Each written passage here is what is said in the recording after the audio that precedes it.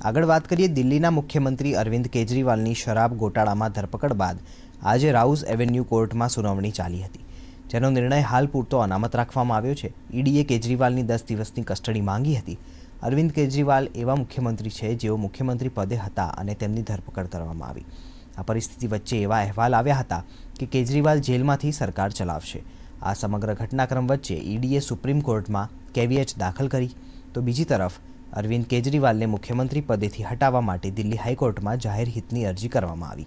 આ અરજી સામાજિક કાર્યકર તેમજ ખેડૂત નેતા સુરજીતસિંહ યાદવે દાખલ કરી છે.